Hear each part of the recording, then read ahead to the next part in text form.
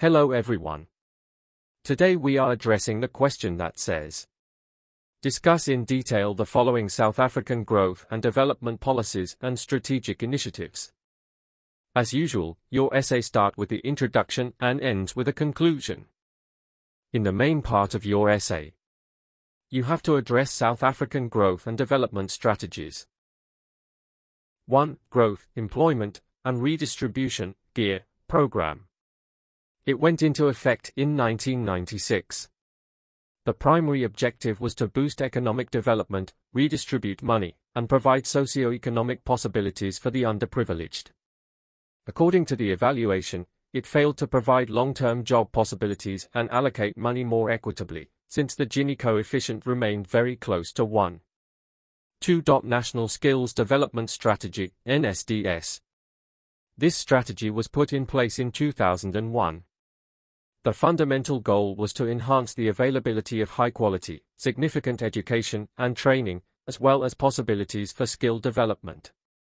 To provide occupational learning and experience in order to improve the ability of all South Africans to participate effectively in the economy and the community and to minimize inequalities. 3.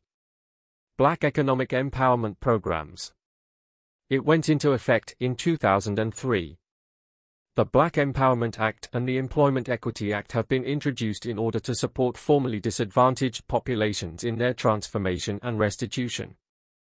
Mechanisms towards achieving redress and affirmative action in the employment setting are put in place. According to the study, the Act benefited largely individuals with political affiliations in terms of procurement while excluding much of the population. 4. Reconstruction and Development Policy, RDP. It was adopted in 1994 with the primary goal of alleviating impoverishment and addressing a nationwide inequality gap. The RDP prioritized the creation of employment, well-being, a place to live land reform, medical care, education and training, water, and hygiene. According to one assessment, the RDP was a failure since a lot of people were still without homes, running water, or electrical power.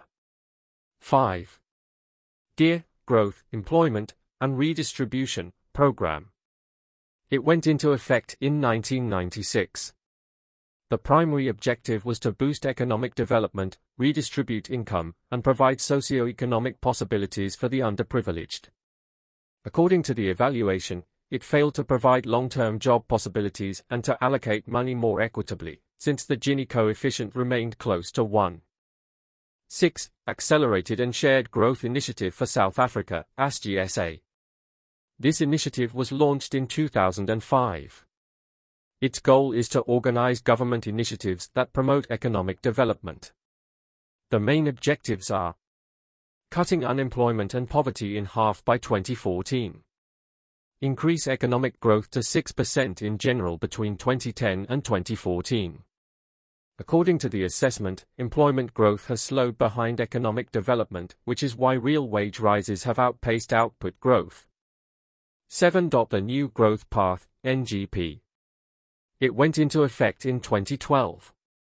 Its goal is to boost growth, provide jobs, and increase equity. The aim is to establish areas that serve as job drivers and encourage and assist companies and fields that can create jobs. 8. The Joint Initiative on Priority Skills Acquisition, JIPSA, was launched in 2007. It is ASGISA's skills development arm, with a primary goal on developing people's skills, in conjunction with SETA's.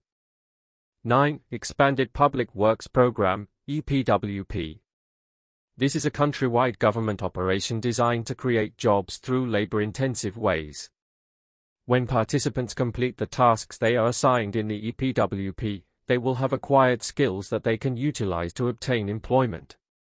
10. Small Business Development Promotion Program. It was created to provide assistance and services to small, medium, and micro businesses. These services are provided by National Small Business Act, Department of Trade and Industry, DTI, and the Industrial Development Corporation, IDC. Thank you for watching. Do not miss the next lesson. Let me know if there is anything you do not understand on this video.